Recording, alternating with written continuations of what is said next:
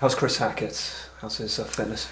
Um, he's, he's, he's it's a long-standing growing problem that he's had, and sometimes we, we have to take him out of training for a week uh, and just play a couple, you know, games and and just sort of make sure we wrap him in cotton wool really. And it's one of those he, I saw him stretching it from the very first minute, but the nature of uh, of Chris is that he wants to keep playing and. Mm.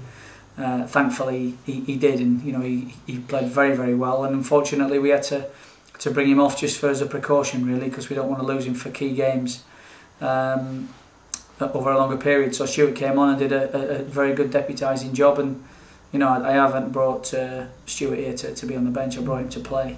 Uh, but it's a sort of situation where you've got you know really good performances from your wide players. It keeps everybody on the toes because you know that, that if they don't do it, then you know, quality can come in and, and, and cause problems. Mm. Because you've got Everton and you've got Dallas, does that mean you can afford to give Chris a, a rest this weekend potentially, or when he does need a rest?